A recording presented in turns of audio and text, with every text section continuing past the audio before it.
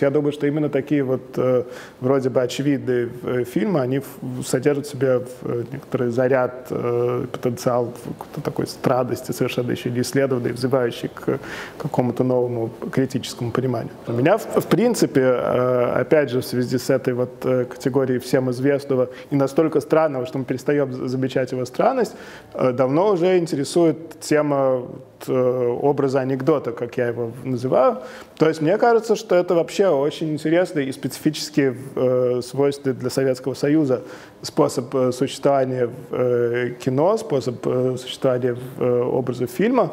Есть несколько, очень немного на самом деле фильмов, э, про которые э, потом рассказываются анекдоты и которые э, на самом деле в какой-то степени даже гораздо более интенсивно, чем на экране, существуют вот э, в этом вот э, режиме устного творчества.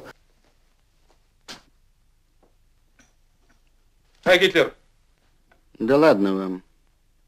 У меня и так в ушах звенит. Буквально по пальцам их можно пересчитать. Ну вот Чапаев, например, там в «17 мгновений весны», в э, «Шерлок Холмс» и «Доктор Ватсон». Вот. И, да, и Наташа Ростова и поручик Ржевский.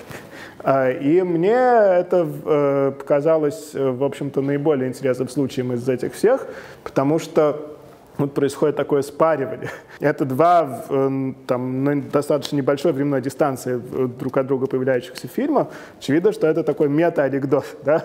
Это такой э, способ, с помощью которого герой не просто выходит за пределы своего фильма, как это происходит с другими, а вот еще и соединяется. Да? Он находит способ установить контакт с героями своей же эпохи, но из другого фильма, от которого он в рамках экрана был герметически отделен. А тут происходит такое пробивание преград. Речь идет о некоторой специфической прибавочной стоимости странности, которая в этих фильмах присутствует, и которые анекдоты пытаются концептуализировать, некоторые, сделать налич, на, на, наличествующим. Вообще, в принципе, очень странный фильм. Смотрите, какие там психоделические совершенно моменты происходят. Вот первый бал Наташи Ростовой, например, да, все очень странно, на самом деле. Все как будто деталитариализируется полностью, э, и э, создается впечатление, что это какой-то не живых людей танец, а каких-то таких вот э, живых мертвецов или, да, андет таких сущностей. Может быть, такая специфическая восторженность Наташи, которая, конечно, во всех, э, всех этих анекдотах обыгрывается, да, все, все эти ее, типа, да, голубчиках, да, как,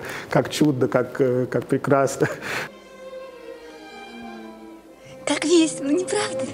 Э, с одной стороны, это очевидно какая-то такая вот э, преувеличенная экзальтированность, а с другой стороны, за ней явно что-то есть, да, то есть нельзя сказать, что просто какое-то там переигрывали, то всегда там есть какая-то такая интенсивность вот это вот. Уйдите! Вы где меня ненавидите? Не делайте!